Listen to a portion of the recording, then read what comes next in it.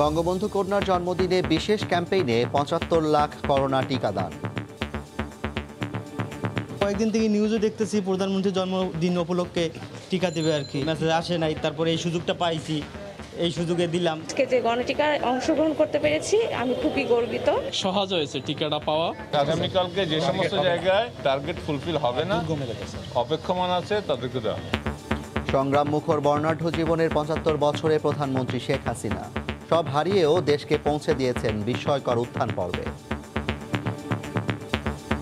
আমি সব হারিয়েছি কিন্তু জাতির পিতা যে আদর্শ শিক্ষা দিয়ে গেছেন তা সেই আদর্শ বুকে ধারণ করেই আমি এগিয়ে যেতে চেষ্টা করছি।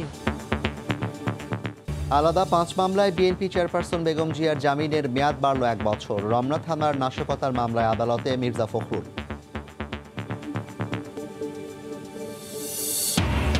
এবছর জেএসসি ও জেডিসি পরীক্ষা হচ্ছে না জানালেন শিক্ষামন্ত্রী। অ্যাসাইনমেন্ট মূল্যায়ন করেই ফল নির্ধারণ। এসএসসি ও এইচএসসি নিতে হবে প্রস্তুতি, সব প্রস্তুতি শেষ। ঢাকার বাইরেও ছড়িয়ে পড়ছে ডেঙ্গু। প্রতিদিনই রাজধানীতে আসছে বিভিন্ন জেলার রোগী। বেড়েছে মৌসুম পরিবর্তনজনিত নানা রোগে আক্রান্তের সংখ্যাও।